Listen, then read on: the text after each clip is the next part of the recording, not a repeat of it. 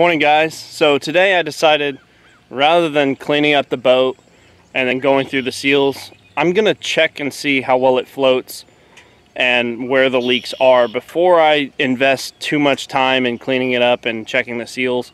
I'll most likely still go through and clean off all the old sealant and replace it. But first I wanna see exactly where it's leaking. I know the transom's bad, it's rotted out, but other than that, the boat looks like it's in great shape. If you didn't see my last video where I picked up this old aluminum boat, I will put that in the banner right here. So, real quick, I wanted to show you guys something that I thought was really cool. Let's look at it.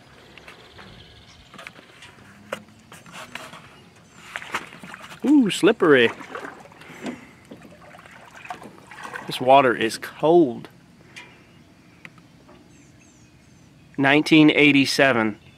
So 1987 was the last time my dad had this boat registered. It's literally sat at my childhood home from 1993 until now. So it's been sitting in the exact same spot for 25 plus years and it's still in great shape. I just thought that was pretty cool to see that sticker. That sticker is three years older than I am. It's just really cool that it's stuck on there all these years. So right now I'm at Versailles State Park. There's a little boat ramp. It's nice and quiet here this morning. It's it's early. It's like 7 o'clock. I'm the only person here besides, I think, one park attendant.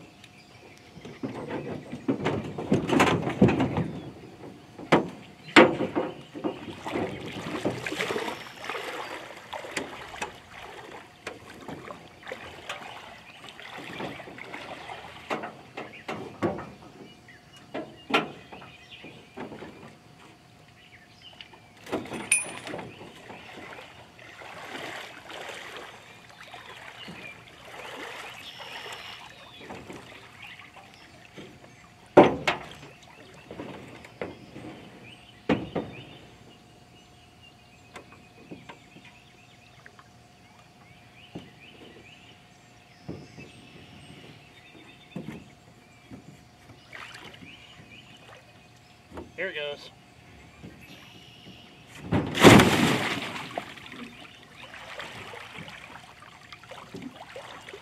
So far guys, the only leak that I'm seeing is near the back of the boat and it's really slow.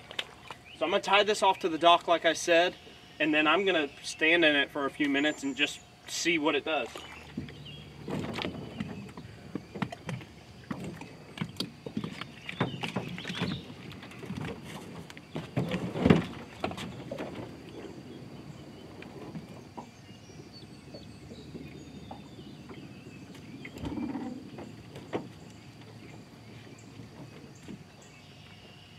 Wow guys, the, the only spot that it's leaking right now is back here in the back of this boat. I'll show you guys exactly where it's leaking once I get back. Guys, that is all of the water that's in this boat. There's a teeny tiny bit up here, but I think some of this could be from the rain last night. I had this thing in the back of my truck, so it looks like right here is where that leak is most predominant. I think that's the, the plug. So guys, the next step for me after I get it loaded back in the truck is I'm actually gonna take this to a car wash, pressure wash everything. The seats are in decent shape. I mean, they look pretty nasty probably on camera, but really they're, they're not in bad shape. The framework is still good, so if I can just buy the cushions, I might do that. I don't know, I'm not gonna just trash them.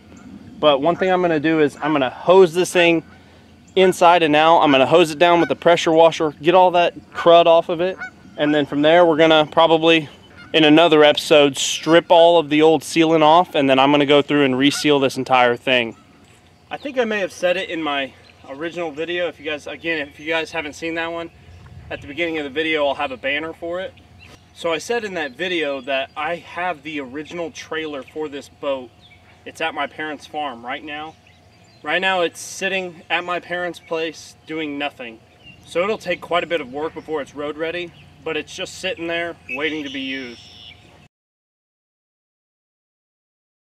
So guys, I remembered as I was leaving the state park that my dad actually has a pressure washer. So rather than going to a car wash and paying to pressure wash the boat, I'm just going to borrow my dad's or take the boat to dad's and spray off the boat that way. I'm not going to do that today. It's supposed to rain all day. It started raining as I was leaving the state park. So I'm going to leave it here. Thank you guys so much for watching Eat Explore Hunt. I appreciate all of your support. If you're new to the channel, please consider subscribing. I really appreciate it. If you're returning, thank you so much. Hope you guys have a good one.